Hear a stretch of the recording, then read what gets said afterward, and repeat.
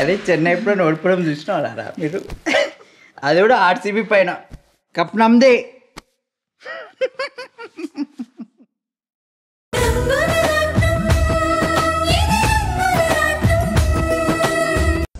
ఇది కలోభ్రమో కాదురా.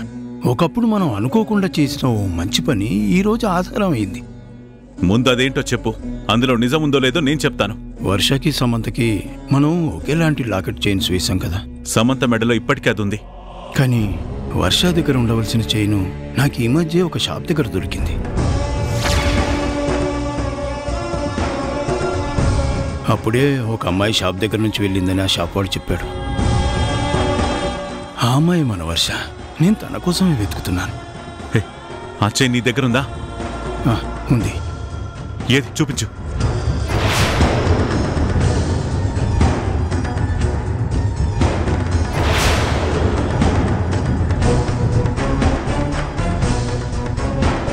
ఏంట్రా? చైన్ ఉందన్నావు కదా? చూపించు.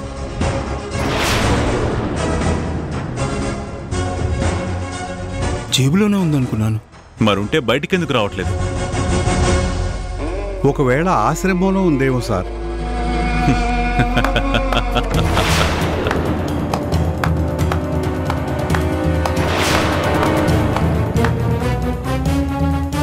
మీరు నా దగ్గర పనిచేసేటప్పుడు చాలా నిజాయితీగా ఉండేవారు చలపతి గారు. కానీ వీడి దగ్గర చేరాక మీరు కూడా వీడిలాగే మారిపోయారు. అవే దొంగ నాటకాలు. అలా మాట్లాడకు శంకర్. నిజంగా ఆ చైన్ నా దగ్గర ఉంది. కావాలంటే నాతో ఆశ్రమానికి రా చూపిస్తాను. అలాగా? ముందే ప్లాన్ చేసావా? బాలాజీకి ఫోన్ చేసి అలాంటి చైన్ ఒకటి తీసుకురమ్మని నాకు చూపిస్తావు. అంతేగా? ఆ? నిజంగా ఆ చైన్ నాకు దొరికిందిరా. ఆ చైన్ నా దగ్గర ఉంది. మన వర్ష మన దగ్గర ఉందిరా. ఇంకా చాలు. చాలు.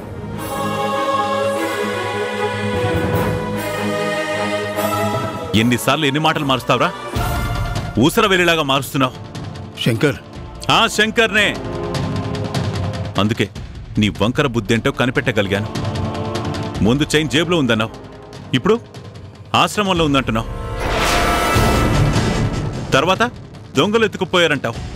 హేయ్ నీ తెలివితేటలు నాకు తెలియని కాదు. యు ఆర్ చీటర్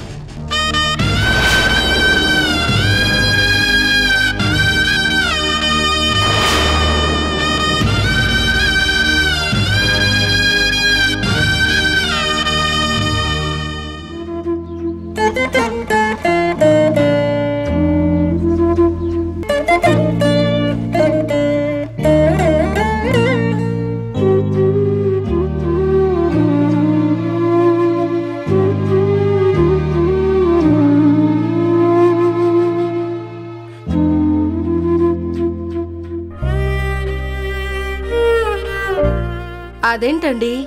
ఇందాకటి నుండి చూస్తున్నాను. ఎందుకిలా అటు ఇటు తిరుగుతున్నారు? అదేనండి. రోజు ఈ పాటికి రాణి ఇంటికొచ్చేసేది. కానీ ఈరోజు ఎందుకు రాలేదోనని కాస్త కంగారుగా ఉంది. ఎందుకండి అనవసరంగా భయపడతారు? రాణి చేతి వంట అమృతంలా ఉంటుంది కదా? అందుకే ప్రసాదం తొందరగా అయిపోయి ఉంటుంది. మళ్ళీ చేయమని గుళ్ళో వాళ్ళు అడుగుంటారు. అందుకే ఆలస్యమై ఉంటుంది. అంతే.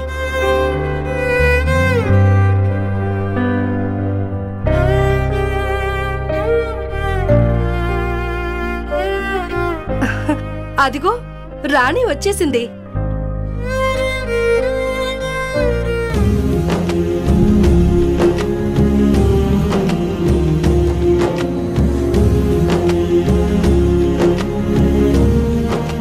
అమ్మా రాణి నువ్వు ఇంకా రాలేదని మీ అమ్మగారు కంగారు పడిపోతున్నారు. తీసుకోమ్మా. అదేంటమ్మా అలా ఉన్నావు? ఏమైంది? నేను అనుకుంటూనే ఉన్నాను. ఆలస్యం అయిందంటే ఏదో జరిగే ఉంటుందని. ఏమైందమ్మా? నాకేం కాలేదమ్మా. కానీ మన అనుకునే వాళ్ళకి ఏమైనా అయితే మనకి బాధ ఉంటుంది కదమ్మా.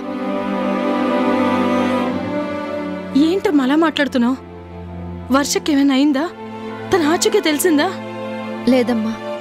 శంకర్ సార్ భార్య పూర్ణ అమ్మగారు ఉన్నారు కదా. ఆవిడకి ఆరోగ్యం బాగోలేదు. అవునా? నీకెలా తెలుసు? మళ్ళీ వాళ్ళ ఇంటికి వెళ్ళావా? లేదమ్మా. సమంత జీవితం అలా అయిపోయిందని పాపం బెంగ పెట్టుకున్నట్టున్నారు. కరుణించమని వంశీ సమంత ఒకటి కావాలని గుళ్ళో పూజలు చేయటానికొచ్చారు. మనుషుల జీవితాలతో ఆడుకునే వాళ్ళ మనవరాలి జీవితం అలాగే అవుతుందని ఆవిడింకా తెలుసుకోలేదా? అవును రాణి వాళ్ళ వల్లనే కదా పాపం వర్ష అందరితో మాటలు పడి అటు ప్రేమించిన వాణ్ణి ఇటు అమ్మలా చూసుకున్న నిన్ను వదిలేసి ఎక్కడికో వెళ్ళిపోయింది. ఇంకా వాళ్ళ గురించి ఎందుకు ఆలోచిస్తున్నావమ్మా? ఆ సమంత ఎలా ఉన్నా పాపం అమ్మగారు చాలా మంచివారు అత్తయ్య. ఆవిడకి ఇలా జరగడం చూస్తుంటే నాకు చాలా బాధగా ఉంది. మంచికి రోజులు కావు రాని ఎవరు సహాయం చేస్తారో వాళ్ళనే బాధ పెడతారు. తన భార్యని కాపాడినందుకు ఆ శంకర్ ప్రసాద్ గారు నీకు కృతజ్ఞతలు చెప్పకుండా నానా మాటలు అన్నారంటేనే ఆయన బుద్ధేంటో అర్థమవుతుంది. అవునమ్మా అర్థం పర్థం లేని పంతాలతో ఆ శంకర్ ప్రసాద్ గారు మన మీద అనవసరంగా పగ పెంచుకున్నారు. అభిమానించే మనల్ని శత్రువులాగే చూస్తున్నారు. ఆ రోజు ఆయన వచ్చి అలా గొడవ పడకుండా ఉంటే మన వర్ష మనతోనే ఉండేది. నీ ప్రాణాన్ని నీకు దూరం చేశారన్న బాధున్నా ఆవిడ నువ్వు కాపాడావు. కానీ మనకేం మిగిలిందమ్మా? బాధ అవమానం తప్ప.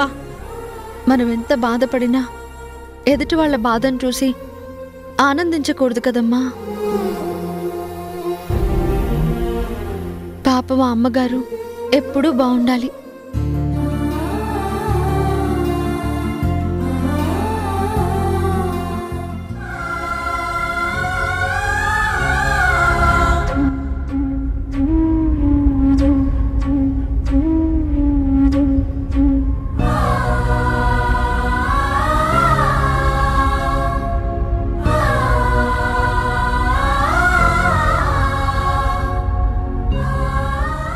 వంశీ సమంత తప్పు చేసింది. నువ్వు పెద్ద మనసుతో తనని క్షమించు. మళ్ళీ మీరిద్దరూ కలవాలి. మీ ఆనందం నా కళ్ళతో చూడాలి. అది జరుగుతుందా వంశీ? పూర్ణగారు? పూర్ణగారు? వంశీ? పూర్ణగారు? సమంతని క్షమించాలి. నువ్వు రావాలి.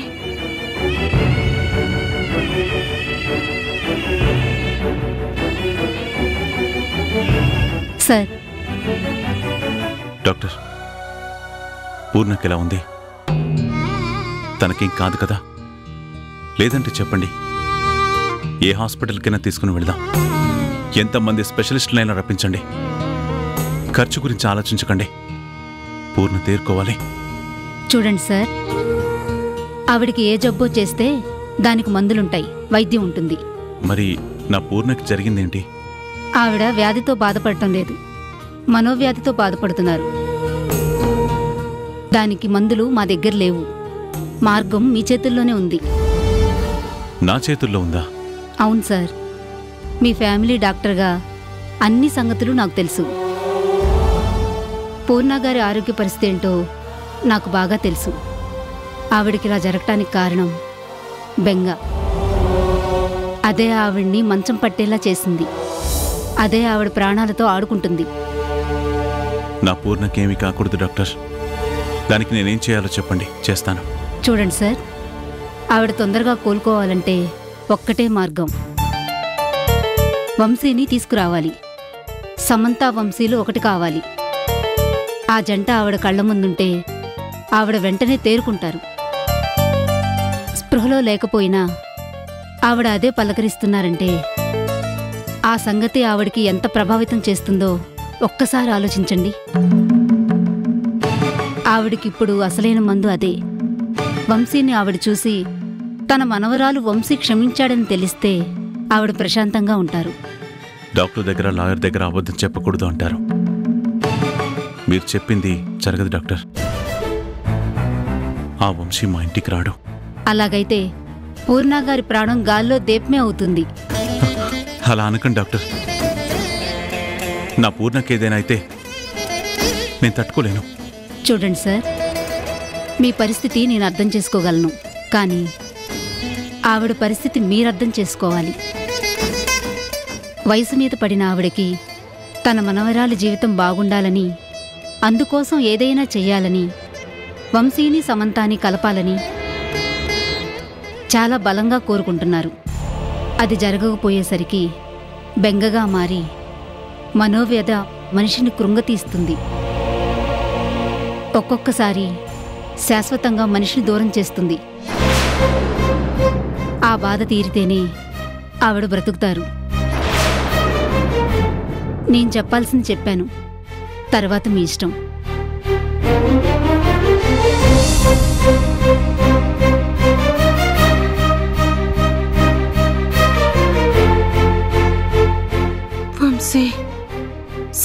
క్షమించు. వంశీ సముద్రాన్ని క్షమించు. మళ్ళీ మీరు కలవండి వంశీ.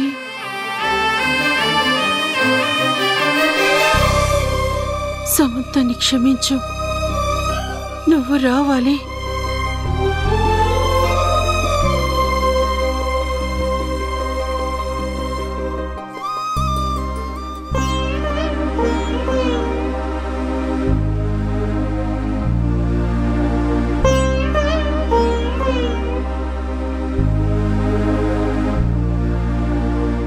హాయిగా ఇంట్లో ఉండక. నీకెందుకమ్మా ఈ శ్రమ? అదేంటమ్మా? గుడిలో సాయం చేస్తే పుణ్యం వస్తుంది అంటారు కదా. అలా పుణ్యం వస్తుందో రాదో నాకు తెలియదు కానీ నీకు సాయం చేసే అవకాశం వస్తుందిగా. అది చాలు నాకు. అంటే నీకు పుణ్యం అక్కర్లేదా? ఎంతో పుణ్యం దక్కింది కాబట్టే కదా నా కడుపున మోయకపోయినా నీ అంత గొప్ప కూతుర్ని ఆ భగవంతుడు నాకిచ్చాడు? నన్ను మరీ ఎక్కువగా పొగుడుతున్నావమ్మా. నేను మరీ అంత గొప్పదాన్నేం కాదు. నీకన్నా గొప్పవాళ్ళు ఎవరున్నారమ్మా తండ్రి లేకపోయినా నా కొడుకుని పెద్ద అధికారిని చేశావు. కానీ వాడు మనకి ద్రోహం చేశాడు. తప్పమ్మా. గోపి మనల్ని వదిలేయలేదు. వాడి భవిష్యత్తు గురించి నేనే వాడు వెళ్ళిపోయేలా చేశాను. అసలు వాడికి ఆ పెళ్ళి చేసి తప్పు చేశావమ్మా. దాన్నే అవకాశంగా తీసుకొని వాళ్ళు వాణ్ణి మార్చేశారు. అమ్మా రాణి ఎమ్మెల్యే గారి భార్య గారు గుడికి వస్తున్నారు. ఆవిడ స్వామివారికి విశేషమైన పూజలు చేయిస్తారు. తర్వాత అందరికీ అన్నప్రసాదం పంచుతారు. తొందరగా వంటలు అయిపోతాయి కదా? అయిపోతే పంతులు గారు ఒక్క అరగంటలో అన్నీ సిద్ధం చేస్తాను. సరేనమ్మా తొందరగా చేసి అక్కడ తీసుకుని వచ్చాయి.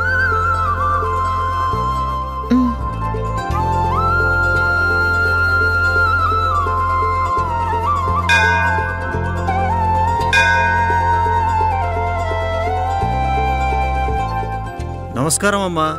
నమస్కారం పంతులు గారు. స్వామివారికి పుష్పాభిషేకం చేయించండి. అలాగేనమ్మా. ఓం గణానాన్వా గణపతిగుం హవామహే కవిం కవీనాముపమశ్రవస్తమం స్వామి రాజకీయంగా నా భర్తని తిరుగులేని శక్తిగా నిలిపావు. మాపై నీ కరుణ ఎప్పుడు ఇలాగే చూపించు తండ్రి. పంతులు గారు ప్రసాదం తెచ్చాను.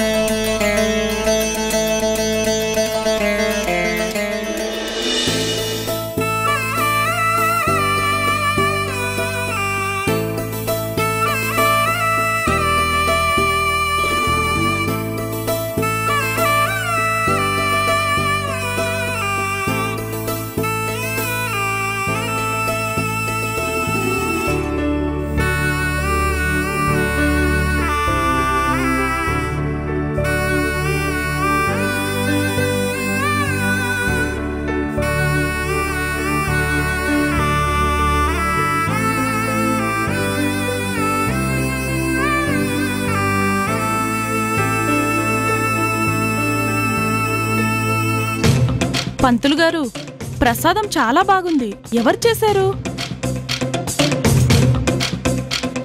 ఆ ప్రసాదం చేసింది ఈ అమ్మాయి. పేరు రాణి. ఈ అమ్మాయి ప్రసాదం చేయడం మొదలుపెట్టిన దగ్గర నుంచి మన గుడికి దేవుడు భక్తుల కన్నా ప్రసాదం భక్తులే ఎక్కువైపోయారమ్మా. నిజమే పంతులు గారు. దేవుడి మహిమ కోరికలు తీర్చడంలో తెలుస్తుంది. ప్రసాదం మహిమ అందరూ కోరి కోరి తినడంలోనే తెలుస్తుంది.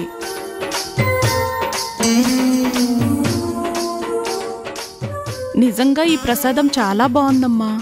అదంతా ఆ స్వామి సంకల్పం అమ్మగారు.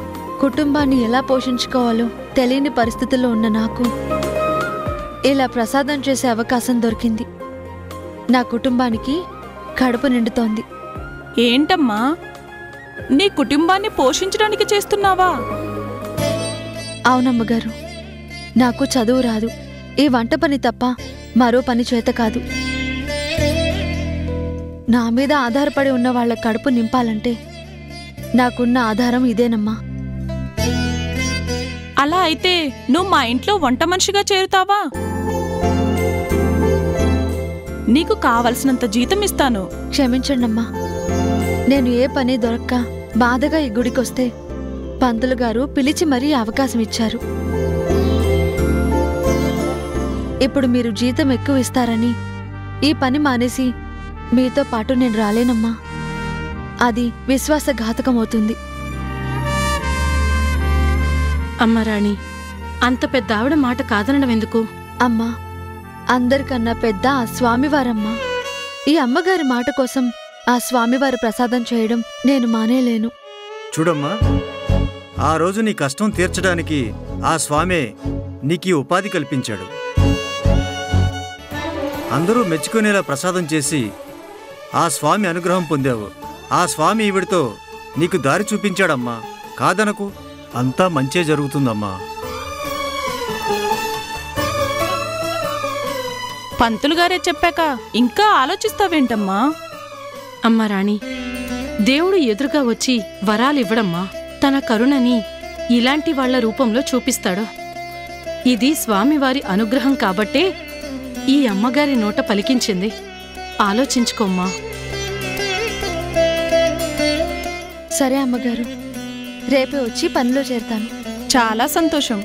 వస్తాను. మంచిదమ్మగారు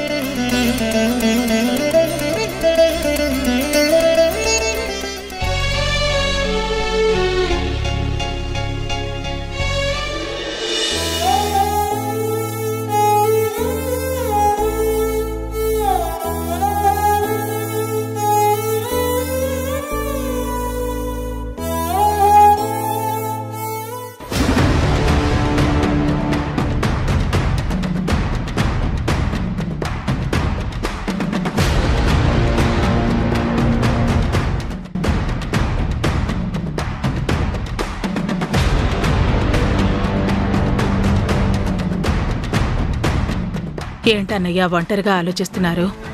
ఎక్కడ ఒంటరినైపోతానో అని చాలా భయంగా ఉంది చెల్లెమ్మ. ఏంటన్నయ్యా అలా మాట్లాడుతున్నారు? వదన గురించి తలుచుకొని భయపడుతున్నారా? భయపడకుండా ఎలా ఉండగలనమ్మా? నా బలం బలహీనత రెండు పూర్ణి. తను జీవితంలో ఎన్ని సమస్యలు ఎదుర్కొన్నా నన్ను మాత్రం కంటికి రెప్పలా కాపాడుకుంది. పూర్ణ నా వల్ల కష్టాలు పడింది కానీ నన్నెప్పుడూ కష్టపెట్టలేదు. అలాంటి నా పూర్ణ ఇలా బెంగతో మంచం పట్టింది. తనని ఎలా రక్షించుకోవాలో నాకు అర్థం కావట్లేదు. వదిన బెంగకి కారణం తెలుసు కదన్నయ్యా. అది తీరిస్తే సరిపోతుంది. అది జరగదమ్మా.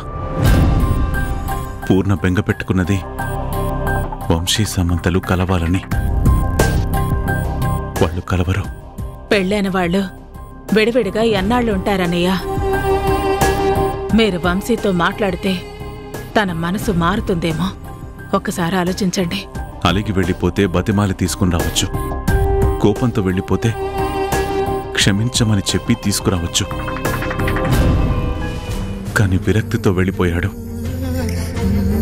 సమంతని వదిలేసి వెళ్ళిపోయాడు.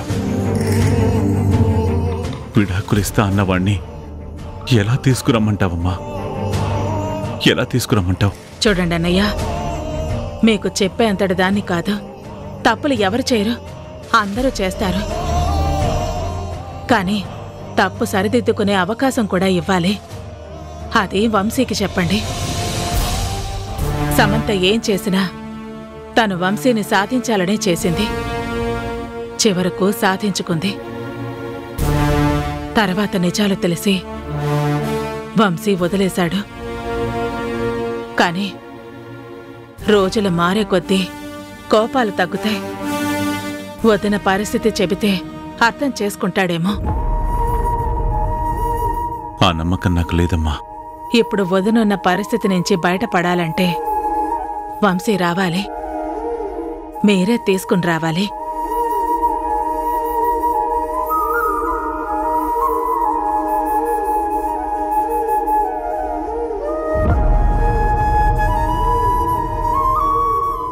చెప్పింది నిజమే. వంశీ రాకపోతే పూర్ణ దక్కదు. నా పూర్ణని ఎలాగైనా రక్షించుకోవాలి.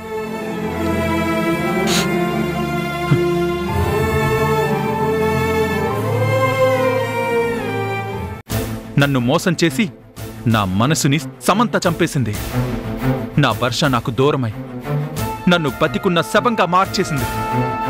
అందుకే ఇప్పుడు నాకెలాంటి సెంటిమెంట్స్ లేవు శంకర్ ప్రసాద్ గారు. సమంత పక్క నిలబడాలి. నా పూర్ణని బ్రతికించాలి. వావ్!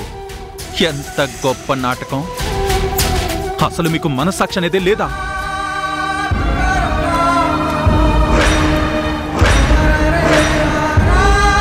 జనరల్గా నేను అనుకుంటా కదరా?